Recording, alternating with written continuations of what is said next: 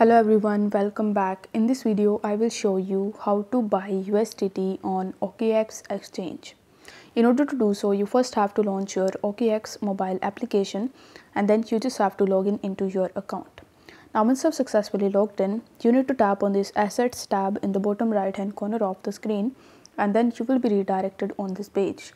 Now over here, you need to tap on buy and once you do this, it will give you two options of adding money into OKX.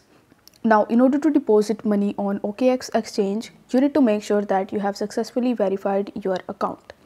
The second method to access this option is that you will have to come to the home page again and now you will have to click on this horizontal tab in the top left hand corner.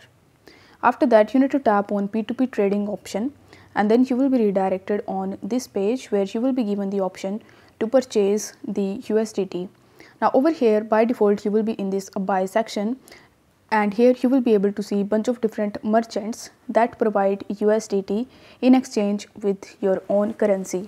So you need to make sure that the USDT is selected over here. After that you can select the amount on which you want to purchase the USDT. After that you can even add your payment method into it.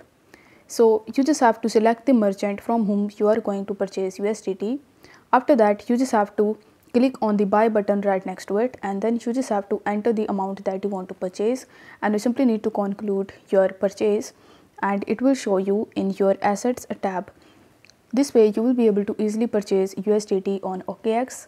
If the video was helpful then don't forget to like the video and subscribe to the channel. Thank you so much for watching.